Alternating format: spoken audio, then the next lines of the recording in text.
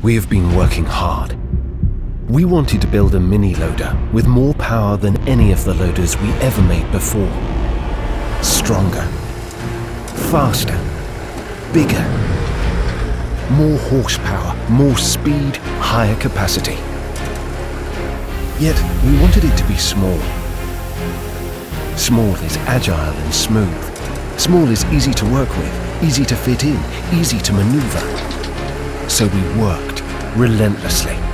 Every detail, every move, every function is carefully considered. And we know we succeeded. Be prepared to discover a completely new mini loader. Norcar A7750. A new power is here.